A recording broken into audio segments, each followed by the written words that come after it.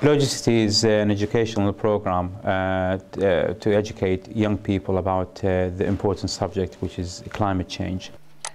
They can go into a, a virtual reality city, which we, uh, we'll call it Logicity, where they can explore uh, the, the city and they walk around, uh, interact with items.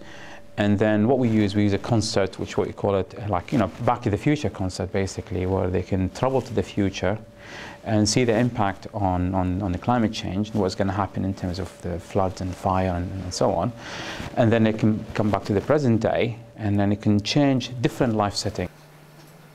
Just to give you an example, uh, they'll have four different uh, scenarios or, or activities, as we call them. Uh, for example, what you do at home. So we're going to set them up at home, give them a budget to say, okay, see what you can do about like spending the budget, but spend it wisely and by interacting in, in the house, uh, for example, click on the wall to see the cavity wall, it can go into the loft, insulation, and so on.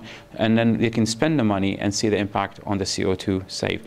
But at the same time, there are items like within the house, like to make it more like a gaming kind of thing, where they can save CO2 by not spending any money, which can like uh, bonus items like standby, for example, TVs and any electrical appliance, switch that off and show them the impact in that during the development, we have involved uh, people who are really heavily involved in, in, in, the climate change. We involved the Open University, and, and, I don't know if you are aware that Open University have a link uh, project with the BBC, uh, which is the climate prediction. Uh, and they, uh, the Open University, been very impressed in what we did. They support us in, in, in the program, and we had other scientists kind of involved in the, in the climate side, and even to give us data and to test the program for us.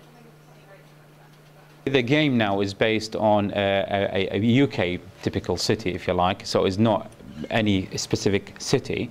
Uh, but our aim in, in the future, in the very near future, is to uh, enable to, say, model London or Birmingham or Coventry uh, and so on. And well, the user can select the city and they can go there and, and, and play the game so they can see how much they can do within their city environment.